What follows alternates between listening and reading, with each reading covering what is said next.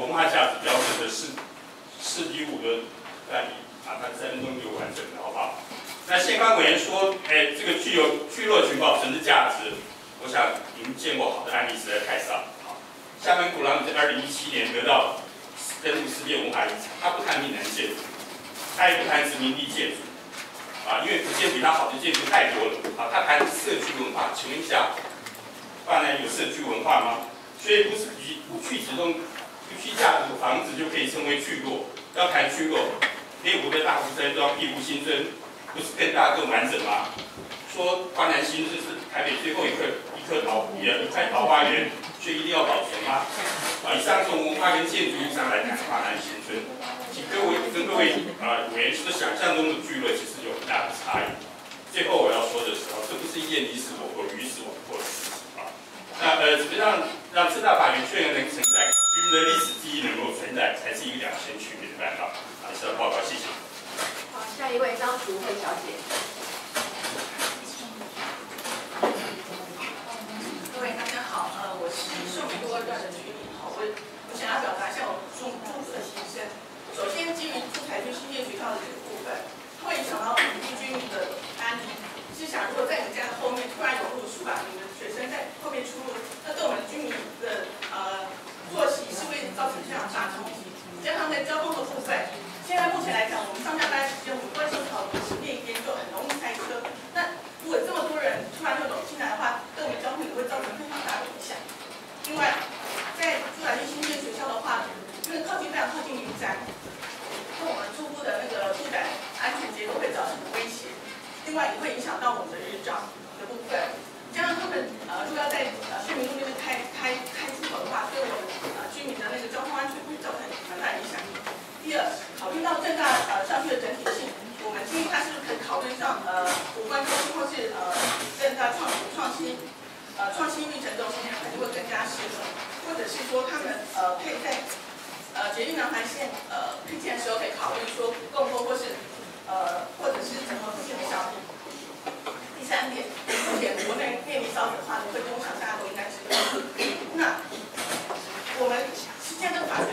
大楼是不是真的有它的必要性，或者他们是可以整合他们现在目前的资源，然后做，或者是呃把把现在花在更多聘请更多知名大学呃国外教授来替他任教，然后提高我们的学提高我们的学术地位，那而不单单只是说呃增加它的硬体设施来的更有价值，是吗？另外一点就是文化资产的形成是需要特别的条件跟时间，有些文化资产破坏是轻而易举，而是不可逆的。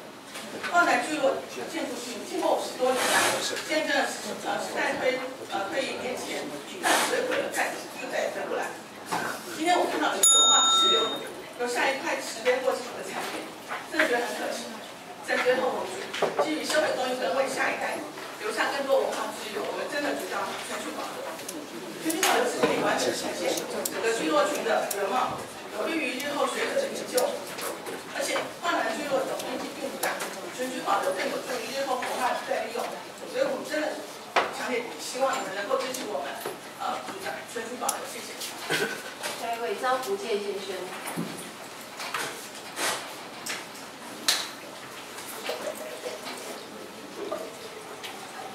部长，各位委员大家好，我是张福建，呃，我是华人新村居民，也是民国六十二年入政大的，中六是入政大的标的，所以我是标准法学院。那所谓法学，当然包括当时法学不是只有法律系，法学包括政治系、工业系、财学系，包括很多其他学系。所以法学现在他们不可能不法律体系不足以做代表当时法学，结果一点都不好。第二点，我岳父是刘开基先生啊，那我我在清华大学毕业之后就在在政治、政治、政治、读政治学研究所。那后来就到中央研究院人文社会科技中心工作，在目前在那边担任研究员啊。那我基本上我是认为说，其实教育是基本美感教育，而且我觉得美感教育是很。你说到那边画人其实你看的时候，你就发现那个雕很美，这个那么漂亮雕为什么要把它破坏掉？这我不知道。为什么要把你以为那美美好就把它破坏掉？你很多人在到那边看的时候，觉得那边真的就是一个人文荟萃地方，而且鸟语花香，对不对？那么漂亮，以为那建筑群为什么要把它破坏掉？这个我所以主张前期保留。第二个，现在如果不前期保留，下很多些就改成建法街那个地方嘛，那个地点。像我业部民宿地方这边，当时有我相信很多的那种名人，像啊，或是像江道生啊、中国院院长，我业部的书法可以在大家如果上网看的话，都可以在那小说上面可以看到。还有我们当时你可以看到，我们当时台北市里面，从台湾省的所有的重要的书记，哇，前面的重要书记，正中书记、右右司书记、商务书记，还有三名书记，这么多书法著作，大部分都是在清大法前的，在那个那个地方完成的。像金之人的中国宪法史，到李春雨的中国生命制度史，还有林徽荣很多著作，大部分在那个地方完成。如果我们把那个地方破坏掉了，那是很可惜的地方。所以我们基于这个文化的保存，基于为保留那个美好的地方，请大请各位支持那个地方的保留东西。谢谢。下一位郭明正先生。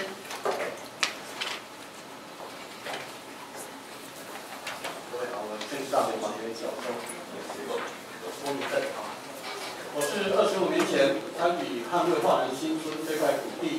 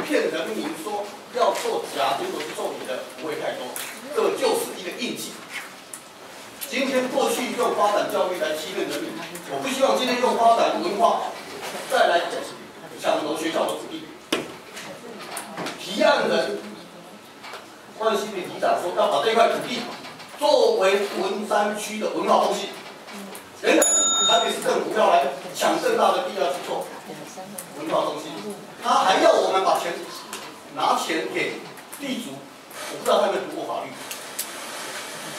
可以这样子违背，募款募金嘛，时间很有限，我们不过是为了承诺来履行，我是前法前院长参与这个规划，我去募款，为了。李建我们五十年前文资委员说五千人太多，拜托，今天有新的文资委员，请说完那句话，把这些一切出来。文资委员说叫我们到校内找地，你有没有见过全世界有多少有名的大学？事实上没有 campus 的。要叫文资委员叫我们说可以作为宿舍用地，拜托，请你好好的读原来的资料，上面写着教学用。就是是教学用吗？你有人说在我们校内找地，你抢我的地，在我的地方去去去找别人的地。请你们好好的去听很多人的话。我可以给你们做两个小时的简报。你可以去听四位跟教授，时间到，谢谢。下一位何昌明先生。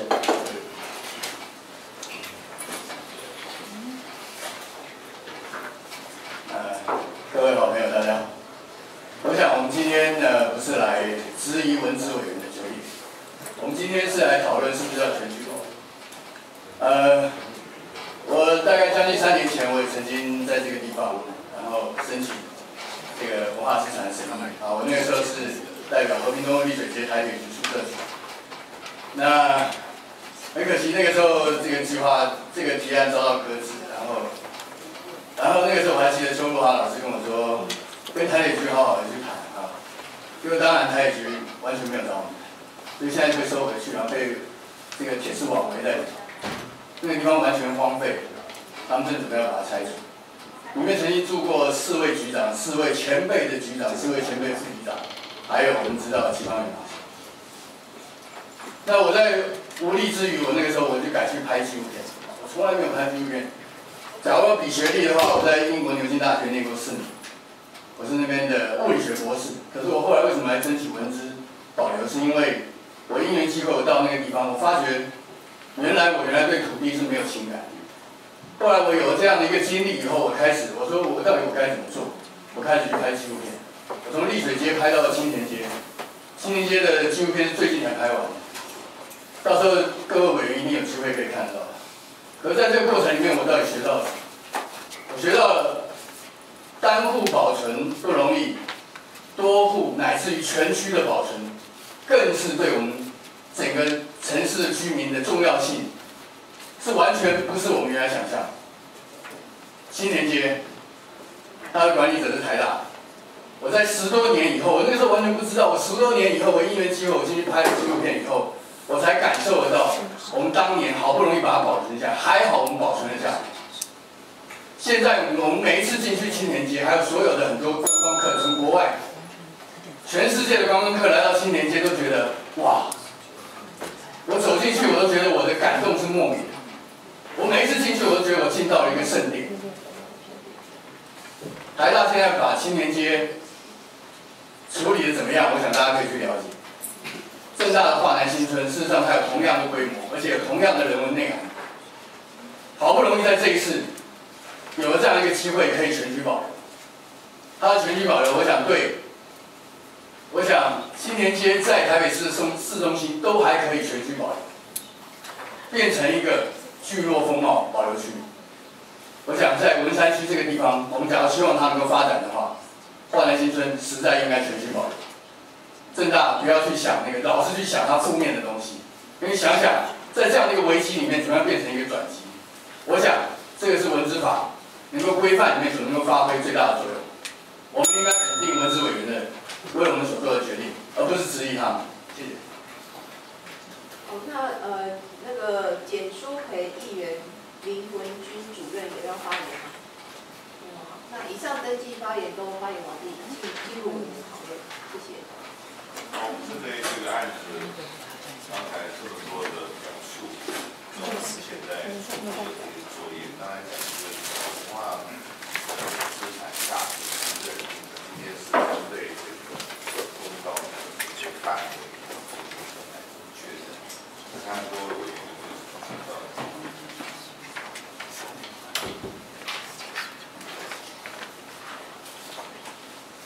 位。这个案子跟刚才讲的这个这个其实也是一个类似，就是说，在整个文资的就是这样的一个上位，保存优先条，来监护未来大家生活啊，在过程里面，刚才局长跟我讲，就是说我们在社区也办过类似的公益会，但是那个共识。我觉得就是说，文资他在委员会的审议里面，我刚才讲还是要专业。今天就是说文资的价值，呃，已经认定的话，这个范围如果说大家没有意见，就就照今天这样的一个大方向。那未来的这个路是总部局长可以简要说一下。好，那个跟。主席还有委员报告嘛？那大概从两年多前是从历史建筑的讨论，那一直到一百零二次进进入那个聚落建筑群的讨论啊。那一百零二次以后，那文化局以主管机关的立场开过公听会，所以价值的确认其实没有问题。那公听会里面也讨论到范围的问题啊。那就现存只有甲乙两村，所以就甲乙两村的范围做全区的认定啊，包括一个小公园。的部分，那呃过来哈，包括正大或是呃一些居民或是提案人所质疑的部分，应该进入到以后文资法在四十条的部分哈，就是要由主管机关来做一个保存的计划哈，保存再发展计划。那个保存再发展计划会就这个全区范围里面，未来可以做保存及改建的部分，我会做细部的讨论。所以相关的以后的保存再发展计划，也要等到这个区域范围的认定以后，才会有后续的动作。那后续的动作以后，也会做更详细的调查，啊，包括历史、人文以及再利用的部分，啊让跟各位做一个报告。好，我想这个已经做了充分的主管机关的协助，我还是在这强调，就是说文字的保留跟这个未来的这个功能的发挥，它这个需要大家的一个共识啊，并不是说一定是。那这也是我们在机制上不断的精进要去做看。所以未来不管是正大也好，或者是说在这个社区正反两方面，都可以看看这个文资法律的要后续的这些相关作业的的规定。但是还是呼吁大家呢，就是说我们在审查过后，还是大家要能够有沟通、有共识，不是说一定是你死我活，那这样我们就会无病之好，我们今天如果没有其他意见，我们就照着一半的事项通过。那后续还是希望大家能够发展。下一个。审议案五案由历史建筑建材市场新建工程设计文化资产保存第三十四条规定审议案。审议案五历史建筑建材市场新建工程设计文资法第三十四条规定审议案。那本案依据文资法第三十四条及本市文化资产审议委员会第一零二次会议报告报告案一结论办。那本案办理情形，呃，本府在九十三年公告登录建材市为建材呃历史建筑，那详附件一。那本案由于呃正一建设申请本市中山区北岸段一小段十四之二地号等六笔土地新建工程拆除及建造执照。那由于基地西侧为本市历史建筑建材市。那本局在去年十二月十三日，请深深设单位简送新建工程的规划设计书图及以建材视为视觉点的模拟图说至本。然后，呃，后续正义建设在去年十二月二十六日检检送建呃新建工程的对于历史建筑保护及维护计划说明书至本。那本局后续在今年一月二十六日邀请米老师、曾老师及刘老师召开专案小组审查会议。那当日的委员意见摘述如下。首先是呃，请开发单位提送以中轴视觉景观点涵盖立建范围之视觉角度，那不影响建材式的观览模拟。那第二点是封面模拟照片，零建材式的新建建物颜色最好单纯，以及监测系统硬盘增建部分。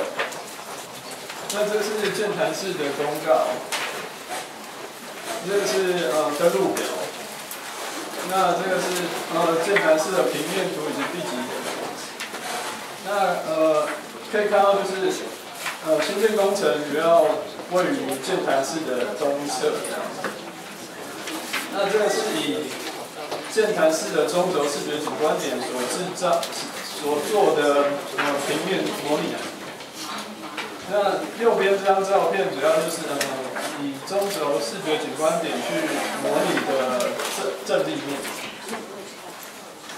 那本案拟办呃，请申设单位针对今年一月二十六日委员意见提出回应及修正方案后，提请本审议会审议并依审议决议办理后续。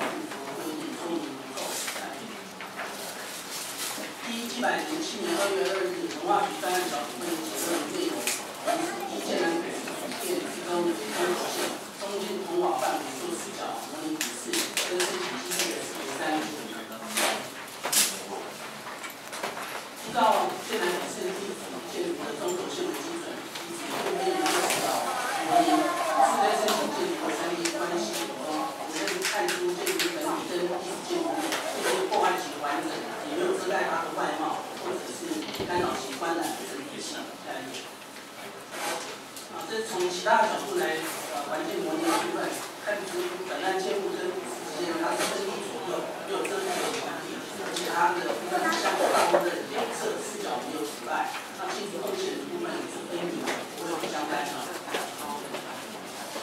那这本案跟呃建筑之间紧密关系就是说，本案开发建筑的规模是不相等的，一栋部分是有一栋是七栋组成。那现在是在九六到九八年间，它所加建的一个风箱厂。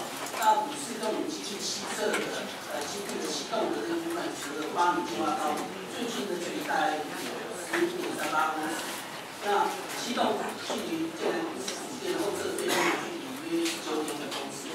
那动线的部分，本来开发行为它是不会破坏这个建筑的完整，也没有遮盖它的外貌，也没有阻拦，也在这个观览的通道。那本来开工申报的时候，我们会针对建南公司的相关安全防护，还有小评估报告，呃社会文化。那本来跟建南股是同业关系，那七地七侧的七栋部分，距离建南股是东江港后侧的距离大约十五点三八公尺，前侧的距离大约二十一点四八公尺。那七栋距离建南股是主店前侧的距离大约二十七点二一公尺。那针对施工阶段的时候，我们在基地靠近南股市这一侧，会安装相关的安全监测设施，例如水位观测器、洗血管，还有安全墙的起雾盘，还有呈现者观测。那施工过程中，只要任何的数据异常，我们专业技师部分就了解原因，排除异常状况以后，才会继续施工，来保护我们事件的安全。那我们这个个案，它跟呃建南指示之间有合的八米计划当中做一个缓冲。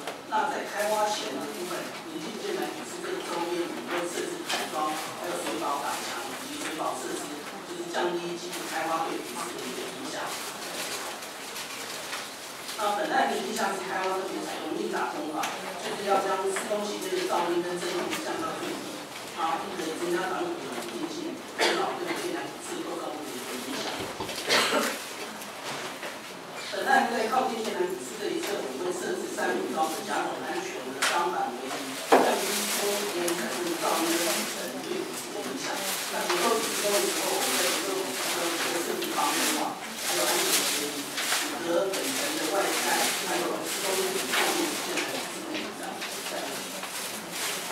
那本案的施工机具还有车辆的技术，我们都是用建南指示最主要的动线技术。防止施工机具跟车辆在运行期间对呃震动对是产生影响。本案在一百零六年十月十九号已经正式更新合理。那配合更新审议期间，我们的安全的一个审查，我们也取得了协助保存以及协用外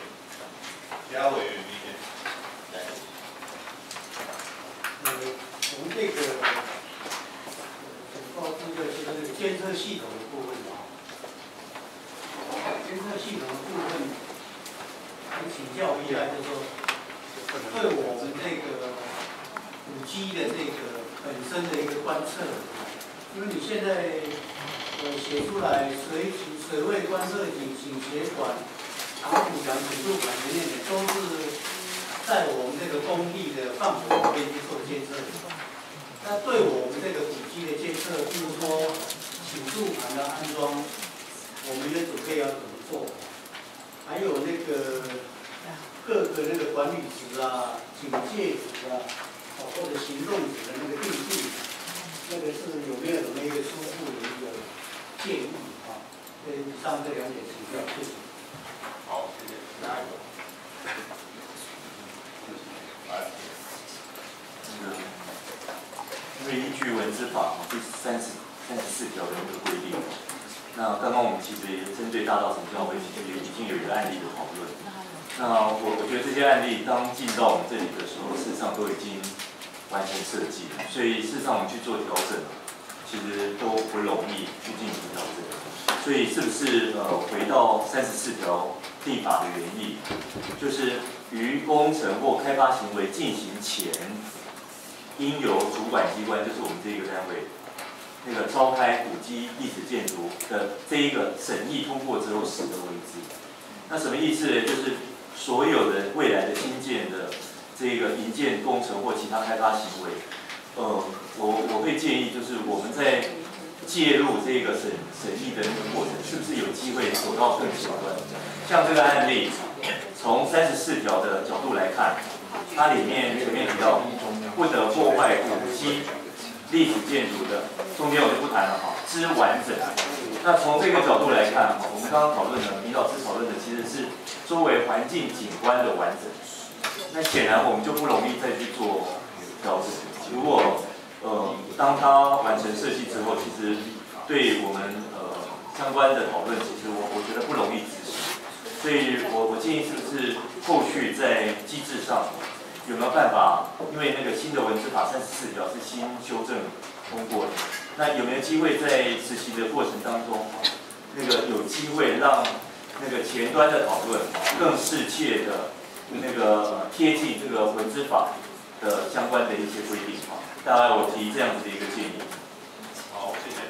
其他委员有什么要来？谢，谢委员。好。